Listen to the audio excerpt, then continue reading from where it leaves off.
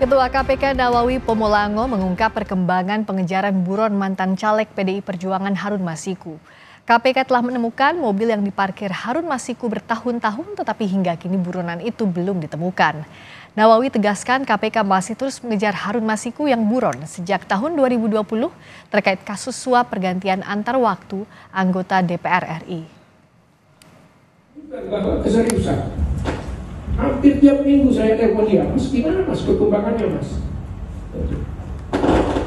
Terus bayangkan. Anda yang jadi sumber berita pada waktu itu bahwa anda pernah sampai katanya disandra dan sebagainya. Anda harus bisa. Sumpah beri waktu kan itu untuk menunjukkan bahwa Harun Masiku kami tidak pernah ah, berhenti terus mencari. Tapi yang kita temukan yang di, di apa tadi itu kemarin dapat uh, mobil-mobil uh, yang dia parkir bertahun-tahun itu aja barangkali yang didapat Kasus suap Harun Masiku berawal saat penyidik KPK menggelar operasi tangkap tangan tahun 2020. Delapan orang ditangkap termasuk mantan komisioner KPU Wahyu Setiawan. Namun saat itu Harun lolos dari penangkapan hingga sekarang.